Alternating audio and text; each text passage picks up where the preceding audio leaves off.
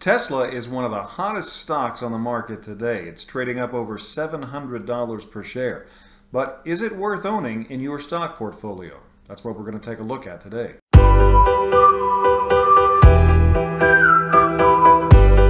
I am certified financial planner professional and investment advisor Damon King with Chapelwood Financial Services.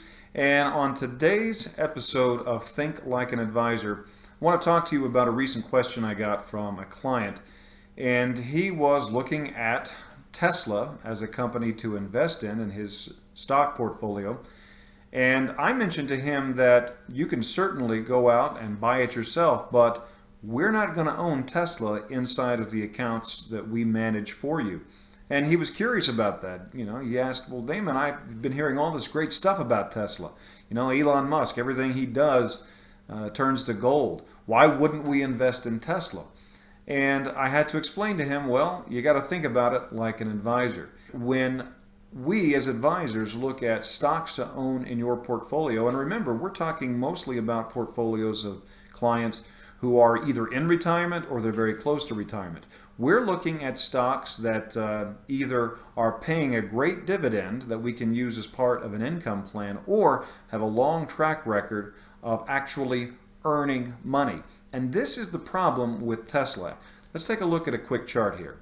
You can see that the price of Tesla is currently $757.60. This is changing in real time. You'll see that today the stock price is up over $107, 16% increase just on this one day.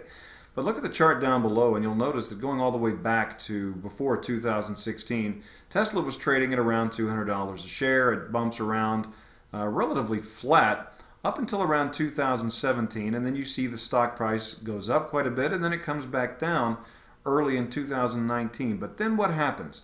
We have a big run up in the stock market. The overall market in 2019 was up almost 30% and Tesla was definitely a huge beneficiary of that movement. But the real question here is is it warranted based upon the earnings of the company? And the answer to that is mm, not really. Let's take a look at another chart so what you're looking at here is the same five-year period that we looked at the stock price of Tesla. Now you're looking at their net income uh, by quarter and by year. And look at that line in blue.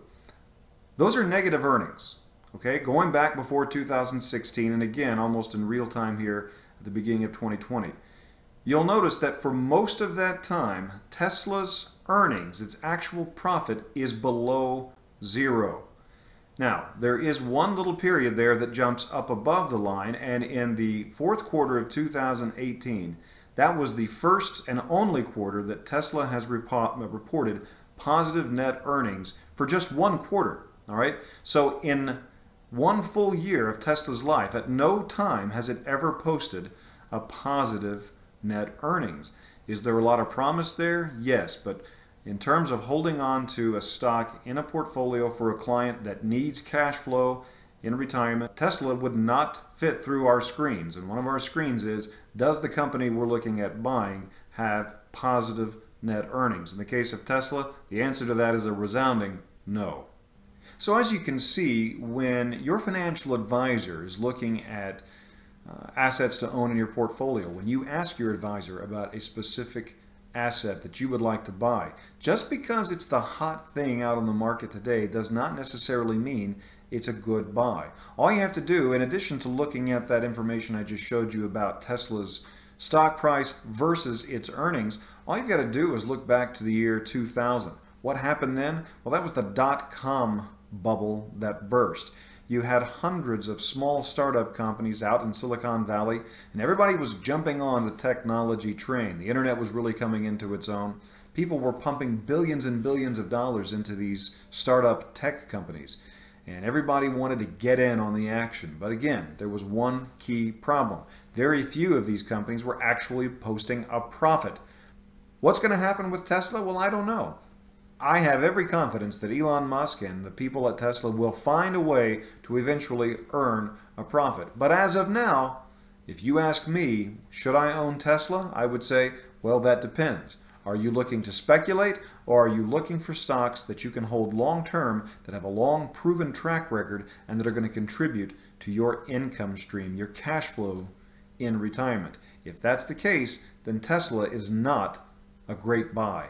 That's how to think like an advisor when looking to own various stocks in your portfolio. Thanks so much for watching. Be sure to hit that subscribe button, subscribe to the Financial Diva channel. You get all of our latest updates and videos on uh, news that is affecting the market, as well as what we look for when we're trying to build portfolios and advise our clients. Thank you so much for watching. We'll see you next time.